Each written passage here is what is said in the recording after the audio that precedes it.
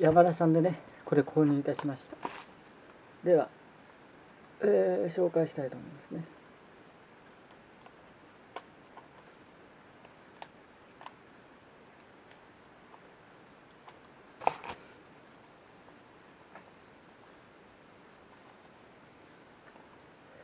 で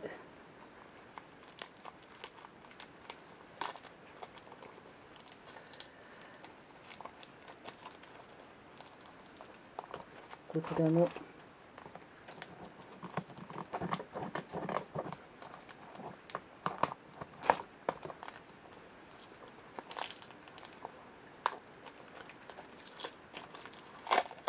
もので。ね。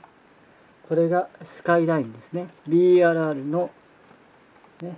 GTR の BNR の34のパトカーです。ね、2021年です。2021年ですが、なぜか20年前の車をいまだに発売しましたっていうね、いうことなんですよ。なんで20年前の方の車を今この時代に発売したんだという突っ込みどころがあるんですね。今 R35 がね、マイナーチェンジされて釣り上がった目つきになっているので、R35 ですら2010年に出ましたから、もう今から10年ぐらい前に出た車ではあるんですが、ね、それをなぜね、今さ、ね、今、今頃、ね、新車として出してくるのかという、すごい不思議なところの部分はあるんですが、まあ、前回もね、あの、R34 のパトカーっていうのは、あの、ギフトものかなんかであったんですよ。ただ、その時はドアの開け開け閉めとかはあったんです。で、今回は、こういうふうに、これはあの、あれですね、鳥よけだと思ってる人いるけど、これこれ鳥よけじゃないですから。これはあの速度をビューって出すために風の抵抗をこうね、ものにこう受けるとスピードがあんまり出にくくなるから、この風の抵抗をよりこうスピードを出すために、あの、するためのこういう設備がついてるわけです。ですからこれはなんか虫よけとか鳥よけじゃないかって思ってる人いるんだけど、これ虫よけでも鳥よけでもないですからね。ねこれは風の抵抗をビューってこうやって当たると、加速が鈍くなっちゃうから、それをもっと加速良くするためにこういうのがついてるわけですね。で、この GTR BN34 のパトカーというのが埼玉県警として出されてると。まあ今でも新、今でこうやって新車で出してきたってことは、未だに現役でこれが活躍してるということなんでしょうね。で、85、854と書いてあります。ただ、見てくださいね。ちょっとこれと比べて、あれ ?86 よりちょっと小さくね？みたいなね、え感じがするんですが、これ残念ですね。箱から開けたらびっくりだわさっていうぐらい。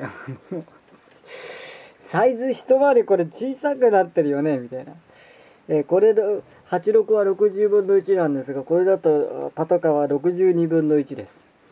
若干小さくしただろうみたいなね。なんでこういうことすんのかなと思うんですよ。宝飛びには毎度思うんだけど。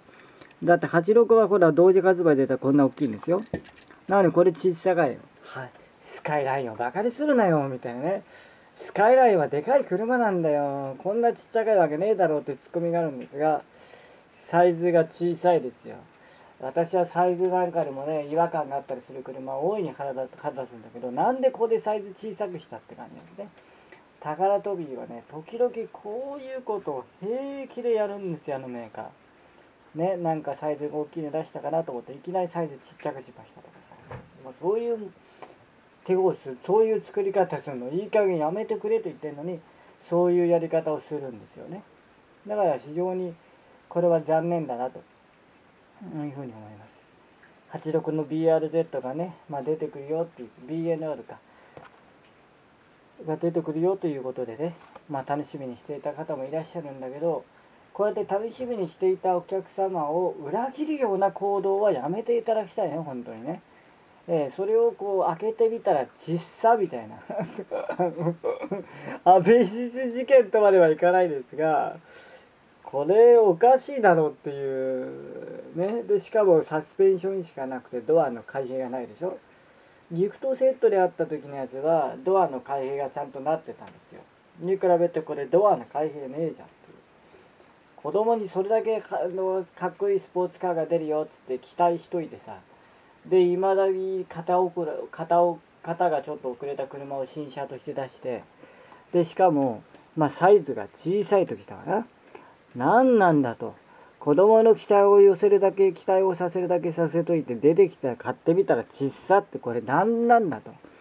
ある意味ちょっとした詐欺だよねこれ。もう宝飛びに言いますけどこれ。ある意味ちょっとした詐欺ですよこれ。同じ大きさぐらいなのかなと思ったら箱から開けたらやけにちっちゃかいなみたいな。ねこんなことやっちゃダメなんですよ。だからもう本当にね元の本来のサイズにしてほしいですよ。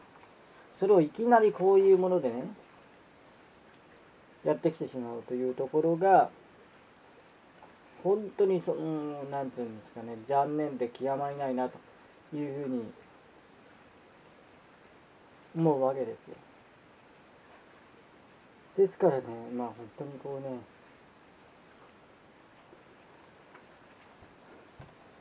そういうところがね すいません。本当にねこう開けてみてね開けたらサイズが小さみたいな。なんでトミカこういうことをするんでしょうね。これはちょっとねあの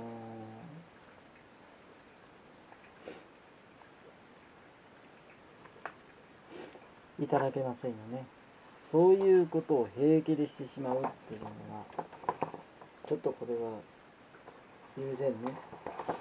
いかんなというふうに、えー、思います。なのでやっぱりそういうところなんかもやっぱりきちんとねしていただきたいなというふうに思いますね。どうもありがとうございました。